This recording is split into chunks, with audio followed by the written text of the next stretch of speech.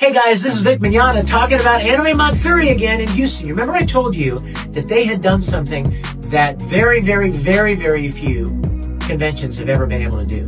And that is get the opportunity and the privilege to premiere episodes of new anime before anyone else gets to see them. Well, it's happening. I already told you about Mecha Ude, but it's happening again and again.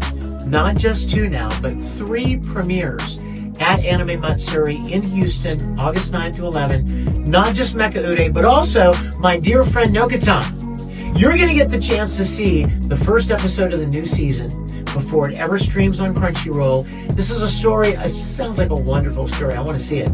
About uh, this schoolgirl who makes friends with this other girl who has antlers. Ah, anime. Nothing does it like anime. and then there's a third premiere by Pony Canyon called Loner Life in Another World.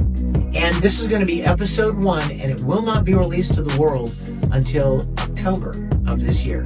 So you'll get the chance, if you can make it to Anime Matsuri, to see three different premieres before anyone else gets to see them.